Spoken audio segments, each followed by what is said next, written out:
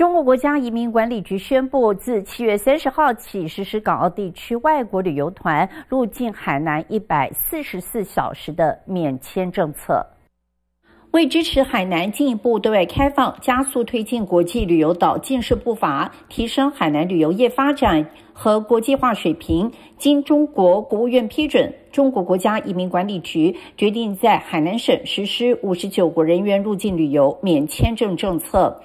与中国建交国家的公民持普通护照到香港、澳门后，经在香港、澳门合法注册的旅行社组团，只要两人及以上入境海南旅游，就可以免签证停留不超过一百四十小时。海南是中国唯一的热带海岛省份，风景堪比夏威夷。根据统计，今年上半年，海南共接待入境游客将近五十万人次，比去年同期相比增长百分之两百五十十一点六。